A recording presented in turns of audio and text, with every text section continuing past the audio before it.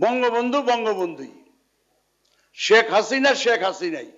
আমি আজকে অনুরোধ করব, বঙ্গবন্ধু জননী শেখ হাসিনার সঙ্গে কাউকে তুলনা করবেন না।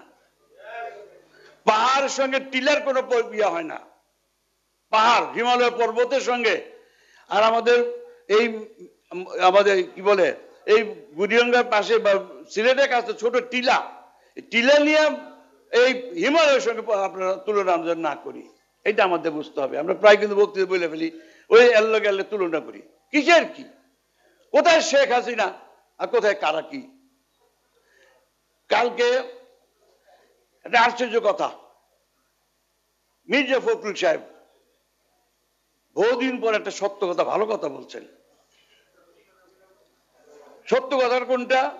বাংলাদেশে মাননীয় প্রধানমন্ত্রী কালকে তাকে জিজ্ঞাসা করছিলেন যে বিএনপির পরবর্তীতে কে প্রধানমন্ত্রী হবে? মির্জা ফখরুল কি বলছে? এতিমের টাকা যে চুরি করে চোর, উনি নাকি প্রধানমন্ত্রী হবে? তারপর আবার কি বলছে?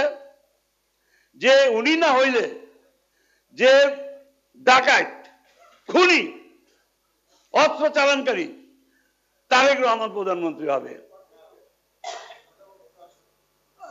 আর তারেক রহমান এই যে যেই দলের এই অবস্থা, ওই দলে কি একটা ভালো মানুষ নাই? পুরো দলটাই চোর চোরটার। এর আবার ভোট চায়।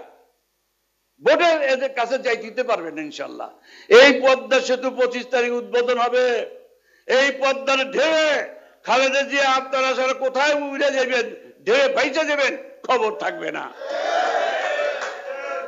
আসল খেলাটা শুরু হবে পঁচিশ তারিখের পরে। যখন লক্ষ লক্ষ মানুষ এই পূব থেকে পশ্চিম পশ্চিম থেকে উত্তর, আসবে ব্রিজের উপর দিয়া, যাইব শেখ হাসিনা বইয়া আসব শেখ হাসিনা বইলা, নৌকার কথা বলতে বলতে। আমাদের যদি একটা কাজ, আল্লাহর কাছে একটা ফরিয়াদ করি চলেন, জননীদের শেখ হাসিনাকে শত আয়ুদ আল্লাহ।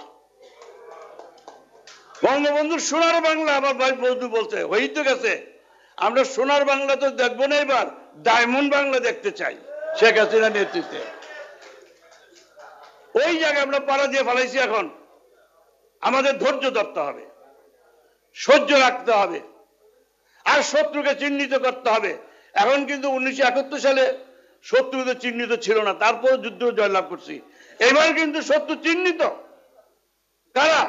ওই ওরা, যারা একাত্তরের বঙ্গবন্ধুকে একাত্তরের মুক্তিযুদ্ধের যারা হত্যা করছে। ওরা পঁচাত্তর বঙ্গবন্ধু হত্যা করছে ওরা।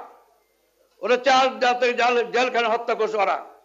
ওরা একুশ বার জনের সে উনিশ বার হত্যা করার চেষ্টা করেছে জ্ঞান হামলা সহ। এরা সব চিহ্নিত শত্রু। এদেরকে আমাদের এখন রাজপথেই মোকাবেলা করতে হবে। আর ঘরে বসে থাকার আমাদের সময় নাই। আছে সময়?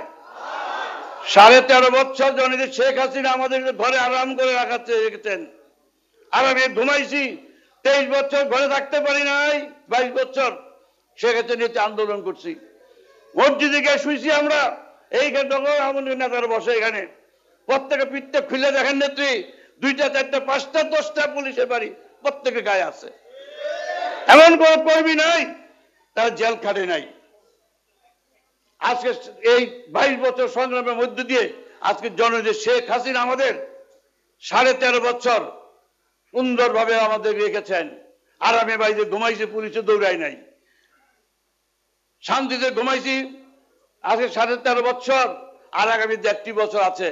আমি অনুরোধ করি আমাদের শেখ হাসিনার মানের নেত্রীর মাধ্যমে, চলেন আগামী দেড়টি বছর আর ঘুম নাই। ঘুমকে আমরা হারাম করে দেব।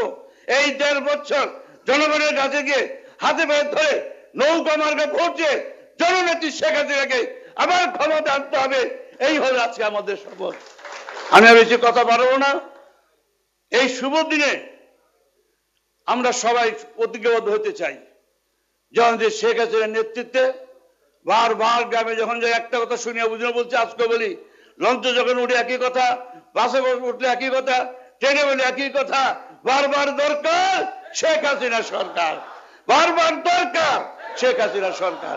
এই সরকার থাকলে আমরা আছি, দেশ বেঁচে থাকবে অর্জন থাকবে। জয় বাংলা জয় বঙ্গবন্ধু।